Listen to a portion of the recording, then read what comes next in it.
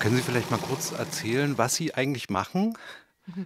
Also ich nähe, nähe Geschichtenkissen. Also ich habe diesen Begriff erfunden und habe auch eine Markeneintragung zum Thema Geschichtenkissen. Ich nähe einfach Kissen aus ganz vielen bunten Stoffresten. Sie haben sich in diesem Jahr beworben, sich äh, bei der Newcomer-Veranstaltung vorzustellen mit, ihrem, mit Ihrer Geschäftsidee, mit Ihrer Gründung. Ja, für mich ist das alles ganz neu, dass ich jetzt als sogenannte Geschäftsfrau gehandelt werde.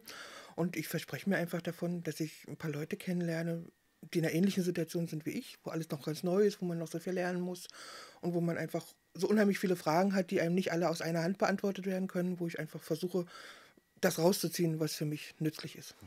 Also seit ich mich entschlossen habe, aus diesen Geschichtenkissen mehr zu machen als nur diese Spendenkissen für die Kinderkrebsstation, habe ich eigentlich das Gefühl, dass ich auf dem richtigen Weg bin, weil ich überall im Prinzip auf offene Türen treffe. Also weil ich überall Unterstützung bekomme und weil sich mir die Leute unheimlich öffnen und ich bekomme auch Lebensgeschichten zu hören, wo ich denke, ja, es ist einfach eine Freude, wenn die Leute jemanden haben, der zuhört und der dann auch dieses Zuhören auch umsetzt. Und es ist ein Grenzbereich. Es ist einerseits schon eine künstlerische Tätigkeit, aber andererseits ist es auch handwerklich einwandfrei gemacht. Also es ist auch waschbar und es ist jetzt nicht so mal eben schnell.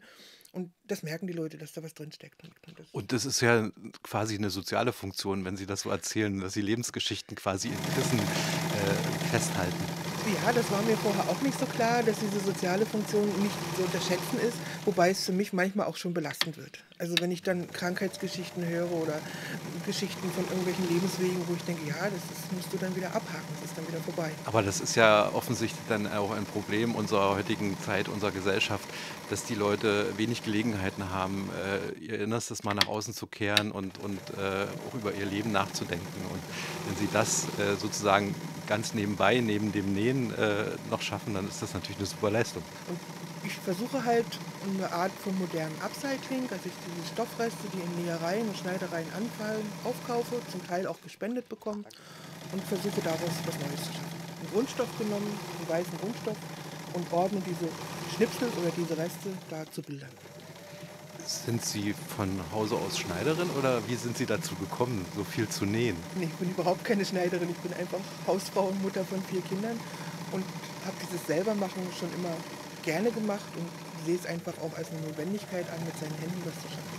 Sie sitzen jetzt ziemlich auf dem Dorf, kann man ja so sagen. Ne? Ist, das, ist das so ein bisschen Einsamkeit oder, oder äh, wozu brauchen Sie die, die Kontakte nach draußen?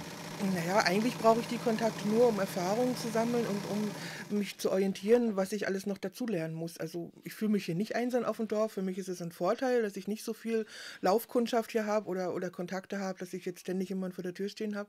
Aber es sind viele Fragen, die offen bleiben und die man manchmal allein nur durch Internet nicht recherchiert kriegt. Und das Stoffe sammeln ist schlimmer als Bücher sammeln, sage ich nur als Warnung.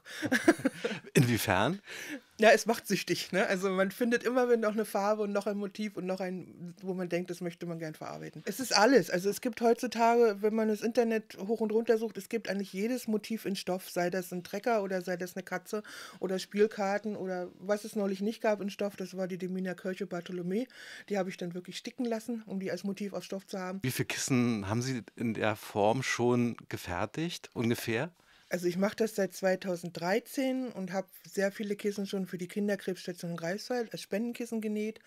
Habe auch sehr viele Kissen so schon weiter verschenkt und ich habe eigentlich, ich bin jetzt so ungefähr bei knapp 400.